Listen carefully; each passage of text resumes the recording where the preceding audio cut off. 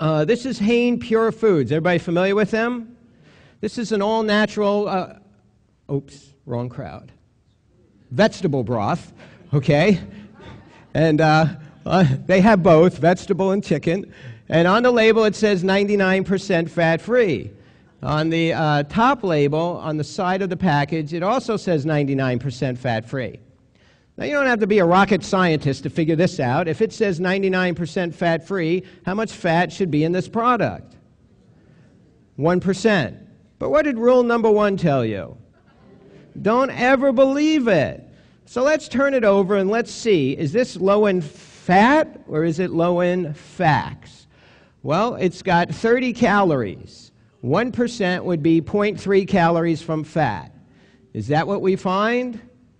No, we find 20 calories from fat, which makes this product 67% fat. Now it says 99% fat free, but it's actually 67% fat. Does that bother anybody? So, how do they do it? Watch carefully. And what we're going to do is we're going to look at some numbers that a few minutes ago I told you to never look at again. The, the only reason I'm going to allow you to look at them for the next few minutes is because we're going to do it under my supervision. Okay?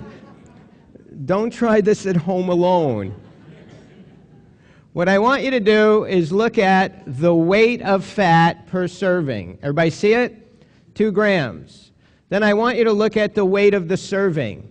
Now, notice these numbers aren't in bold and they're not next to each other. So, if you don't know to do this, it's not easy to figure out.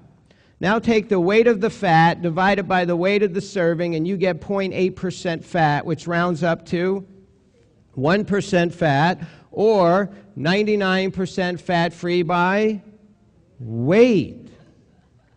But here's the problem since we've been getting health guidelines in America, all health guidelines have asked you to limit fat as a percentage of calories.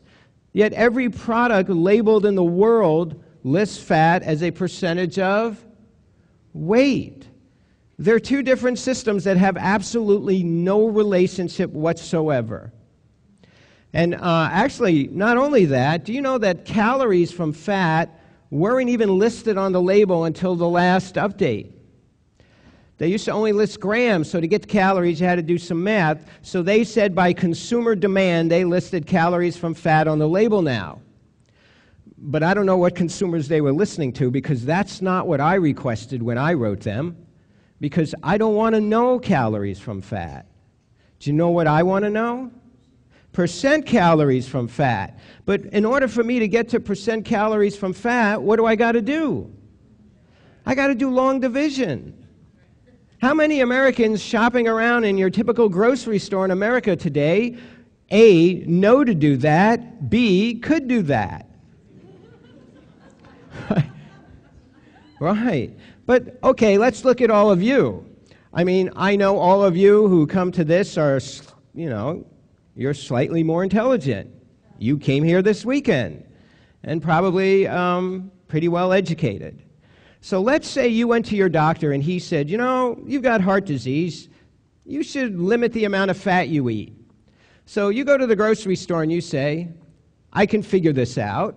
And you pick up a product like this and you look at the nutrition facts label, figuring the government is making this easy for you. And you say, okay, let's see what we got here. First thing you see is calories from fat 20. And maybe you know what to do with that, maybe you don't. Then you see total fat 2 Gs. Maybe you know what a G is, or maybe you don't, but you're glad there's only two of them. and then over here it says 3% of a daily value. So they're listing fat three different ways by three different systems in one section. Is that helpful or confusing? You think that's done by accident? No. Now, um, would you like to see how they really get away with this? Um, one of the things Jeff didn't mention is one of my former employees, former employers. Does everybody know who I used to work for many years ago? I used to work for Kraft Foods. Oh. Well, that's why I'm here. I'm doing my penance.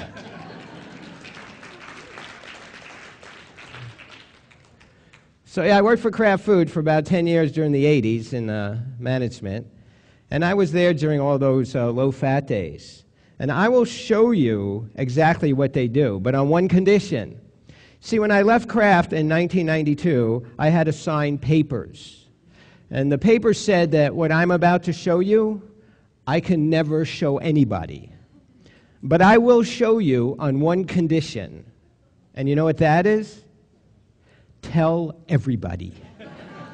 Let them sue me. I don't have any money. okay, here's a little can. Back in the 80s, everything had a lot of fat in it. Fat's got a, you know, it's got a certain texture, a mouth feel, it's shelf stable. So they like to put it in food. So let's say in this container they put a tablespoon of oil. That's just going to be my example. A tablespoon of oil is 120 calories and 120 calories from fat. So if that's what all was in this little container, this product would be 100% fat. But then 1980 rolls along and everybody wants low fat products. You've got a product that's either high fat or all fat. So now you're stuck. You either got to make a better product or Guess what they did? Right. What they did was add water. Does water have any calories? Does water have any fat in it? So, where do all of the calories still come from? Fat. But does water have weight? Yes. It adds 750 grams. So the total is now 764. So take the weight of the fat, divide by the weight of the serving, and you could sell this 100% fat product as 98% fat free by weight.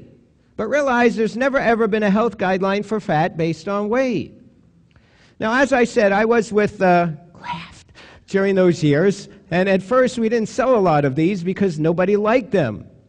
And then somebody had this great suggestion, and no, it wasn't me add America's favorite two seasonings. And now these things sold like hotcakes. And do you know what that is right there? That's pretty much how they make most low fat, fat free soup, salad dressing, mayonnaise, all of that. Just water it out. And then maybe a little thickener and some salt and sugar so uh, you don't realize the dilution. So, does that bother you? Right. So that's how they fool you.